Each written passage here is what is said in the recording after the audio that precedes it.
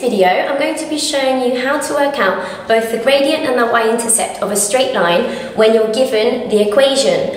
So hopefully you've already heard of this, y equals mx plus c. This is just the format of a straight line equation that we use so that we can easily identify the gradient and the y-intercept. So the gradient is usually represented by the letter m. And remember, the gradient is just how steep the line is.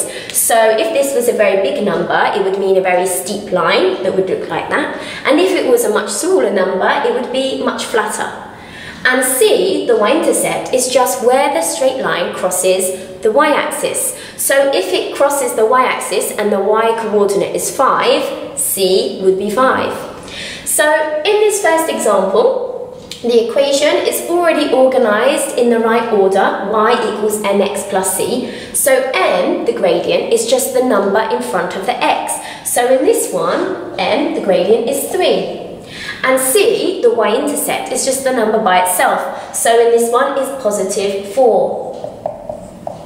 In this one here, it's still saying y equals, which is good, but the x is over here and the number's over here. So remember, to find m, you've got to work out which number is in front of the x. Well, there isn't actually a number in front of the x. You have to remember that there's an invisible 1 here. So the gradient is in fact minus 1. And the y-intercept, again, is the number by itself. So the number by itself is positive 5, therefore the y-intercept is also positive 5. In this one here, I can see the gradient, but there's no number by itself. The gradient is the number in front of the x, so m is minus 8. But because there's no number by itself, so c, it means the c value must be 0. So this straight line, this one here, it crosses the origin. It passes through the origin, the point 0, 0. That's why the y-intercept is 0 and there's no number by itself.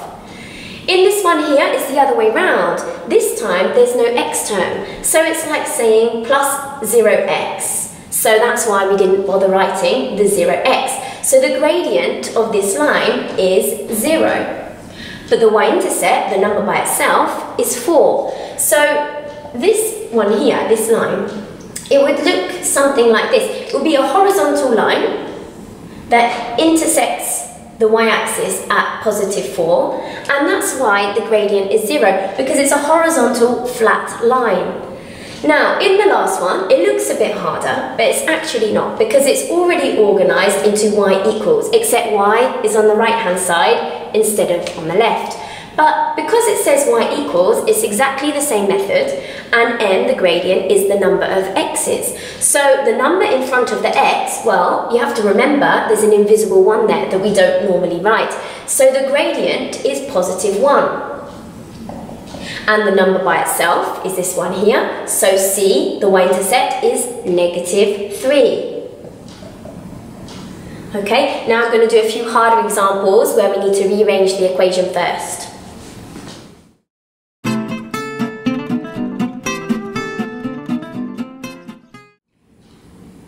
So remember, before we can pick out the gradient and the y-intercept, the equation needs to be in this format, y equals mx plus c. So in these equations, none of them say y equals, so we need to rearrange the equations first.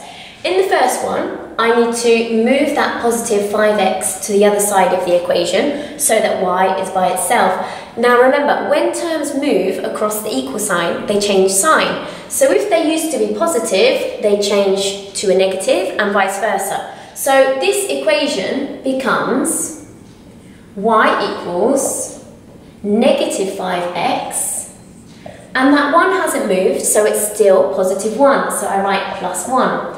Now that I've rearranged the equation to get y equals, I can spot the gradient and the y-intercept. Remember, the gradient is the number in front of the x value, so m is minus 5, and the y-intercept c is the number by itself, so in this one it's positive 1.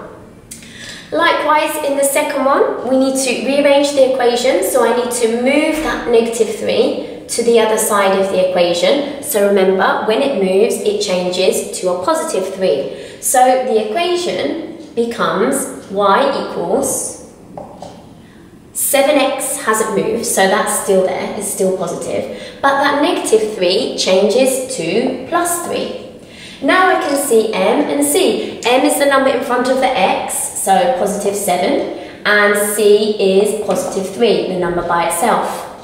Now, this one's even harder. This time we've got to move more than one term to the other side of the equation. So I'm going to move all of that over to the right so that I'm left with y on the left-hand side.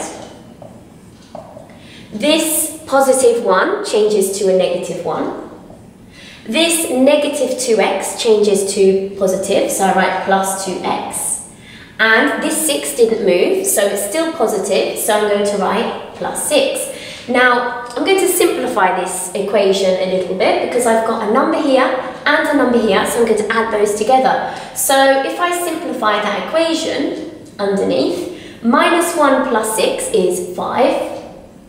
The 2x doesn't change. And now it's in the y equals mx plus c form. So I can see that m, the gradient, the number in front of the x is positive 2 and the y-intercept, the number by itself is here, is positive 5. Now, on to example number 4. This time, we've got 2y. Remember, it has to be 1y equals mx plus c. So I need to get rid of this 2. So the opposite of multiplying by 2 is to divide by 2. So I'm going to divide by 2 because that will make that 2 disappear because 2 divided by 2 leaves me with 1y. But if I divide by 2 here, I have to do the same thing throughout my equation. So let me write down what happens when we do that. So here I've already told you that's going to cancel. 10x divided by 2 is 5x. And 5 divided by 2, that's going to give me a decimal number, which is 2.5. So m, the gradient, is here in front of the x, so that's positive 5. And the y-intercept, where it crosses the y-axis, is positive 2.5. Now, one more to finish. Alright, so in this last one, we've got a couple of steps before y is by itself. When we look at this first part here on the left hand side, I can see that y plus plus vx is being divided by 4. So I need to get rid of this fraction. I need to get rid of the 4. And the opposite of dividing by 4 is multiplying. And remember, when you do something to one side of the equation, you have to do the same thing throughout. So I'm going to multiply everything in this equation by 4. So on the left-hand side, where I do the opposite, they just cancel each other out and I'm left with y plus 3x. And on the right hand side, when I multiply by 4, well 1 times 4 is just 4. So the equation becomes y plus 3x equals 4. Now it's just like the ones from the beginning. I need to move that positive 3x to the other side. So it's going to change to a negative. And on the left, I'm left with y equals. So I've got negative 3x the 4 hasn't moved, so it's still positive, so I write plus 4. And now I can pick out m and c. m is the number in front of the x, so in this case it's negative 3. And c, the y-intercept, the number by itself, is 4, positive 4. Okay, so now you know how to work out the gradient and the y-intercept of a straight line when you're presented with the equation.